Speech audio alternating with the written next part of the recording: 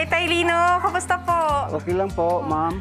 Kamusta po ang inyong pasada po ngayon? Ay, Medyo, ano, ma'am eh, medyo taghirap ngayon kasi pandemic, ma'am. Ako po si Lino Bernas, 54 years old, nagta-tricycle dito po sa North Fairview, Quezon City.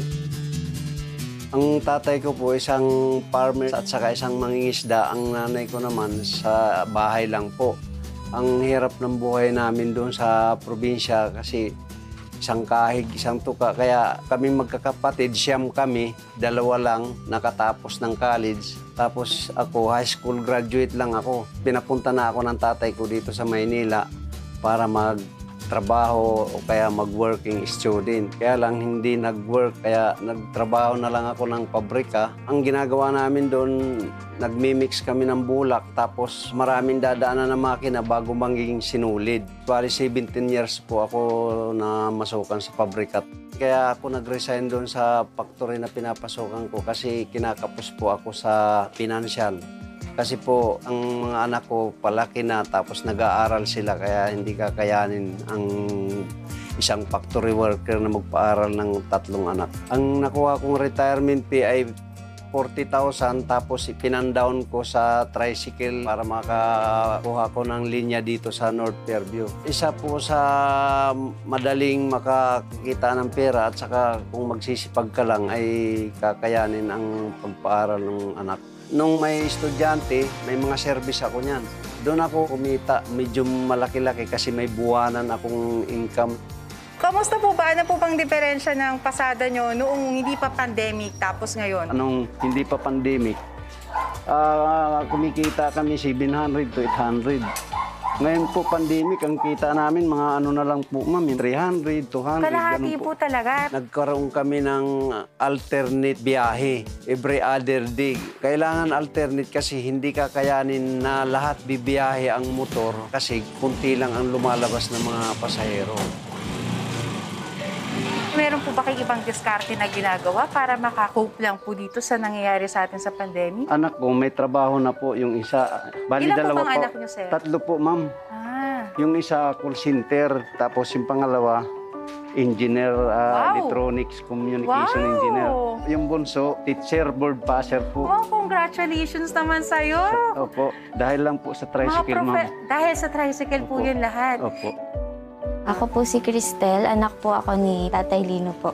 Bilang papa, masipag, very responsible siya. Nairaos niya yung pag-aaral namin tatlo. Tinatanong ko ng mga kaklase ko kung ano trabaho ng papa mo. Proud pa ako na sabihin sa kanila na tricycle driver yung papa ko. Hindi ako nakatapos. So, ang hinangad ko para makatapos yung mga anak ko. Kung pwede lang ipagsigawan na ako si Lino Bernas, nakapagtapos ng pag-aaral, isang engineer at saka isang teacher, pagsisigawan ko. Di ba, proud ka? Proud ka sa mga anak mo. Ilan taon na po ba kayo namamasada? Mula 2003 hanggang ngayon.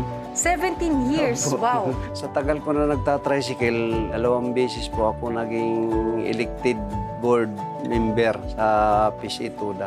Ang tawag nila sa akin, tatang. Isa naman, pare. Parang magkakapatid na lang din kami. Pumunta po kami dito, may dala po kaming pang COVID proof at Opo. sakto nakita ko nga po, medyo parang kailangan na po natin palitan. Palitan parang po. naluma na po ito, eh, no? Opo. Ito po, sakto, magagamit niyo po ito Salamat para po. Salamat po. sunod po tayo sa protocol. Isa Opo. po sa harap nyo at isa po dito pang pasahero. Oh, sa likod po. Kakabit ko na po, ma'am. Bali tayo, tanggalin ko na po. Tutulog Ah, sige po, po. kayo, ah. So, 17 years. Opo. Para sa inyo, pinaka-memorable na biyahe nyo Ang, na pasahero, na, na, na nangyari. Yung may maraming naiwan na mga cellphone, ma'am. Oh, Kaila- paano po yun pagka ganun? Binabalik po, po namin yan, ma'am, kasi kailangan ng ano yun, ng pasahero po. Pinupuntahan niyo po mismo yung nakakaiwan. Paano Opo, kasi natatandaan niyo po natatandaan namin yung ano, tapos yung tinatawagan namin, kaya na naibabalik po namin. Sa- sa- Gift daw yun, ma'am eh. Wow! Kaya, Maiyak-iyak yung may-ari, no? kaya yung may-ari na. Parang sa 17 years na yon Opo. na pag na hanggang ngayon ay namamasada po kayo, parang imposible naman na tuloy-tuloy yung ginagawa na hindi nyo minamahal yung trabaho nyo. Mahal na Hindi mahal ko ko kayo po. tatagal dito na hindi nyo mahal yung trabaho nyo. eh. Opo. Maya-maya ay natapos na namin ni Kuya Lino ang pagko-COVID-proof ng kanyang tricycle. Gusto niyo pong Opo, ma'am. ma muna? Sige po. Alam natin hindi madali ang pagpapasada at yung Opo. paging driver.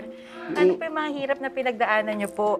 Isang araw, minsan umabot ako 16 o kaya 14 hours. Papahinga ka lang ng tanghali, tapos biyahe na naman. Alintaan na namin yung panahon kasi pag umulan umaraw, talagang kinabukasan. Pag hindi mo inalagaan sarili mo, magkakasakit ka. Hindi niya pinapakita sa amin na nahihirapan siya. Sino po ang um, inspirasyon niyo sa bawat pagpasada niyo po? Ang pamilya ko lang po naman talagang inspirasyon ko. Ang alam ko kasi yan lang ang papalakas loob pag ah, umuwi ako. Ang wala lang sakit, okay na sa akin. Ang buhay ng isang tricycle driver ay makulay. Makulay. Iba't ibang klaseng tao ang uh, kikilala nyo araw-araw. Ano po ang masasabi nyo, mga natutunan nyo po, na pwede nyo pong ipamahagi rin po sa mga nanonood ngayon? Ang gusto kong ipamahagi sa lalo na sa mga kasamahan kong tricycle driver sa pamamasada, mag-iingat ka lagi. Tapos yung pasahero, ingatan mo rin. Tapos pag na kumita ka na, ano mo sa pamilya mo, wag mo i-ano sa mga bisyo-bisyo. Ibig sabihin, kahit di nila ako tolaran kasi hindi naman talaga totally perfect yung ano ko. Ang, ang masabi ko, napaaral ko yung anak ko. Nakatapos sila. Yes. Kaya Kaya Then- sobrang, ako po sobrang impressed po ako doon.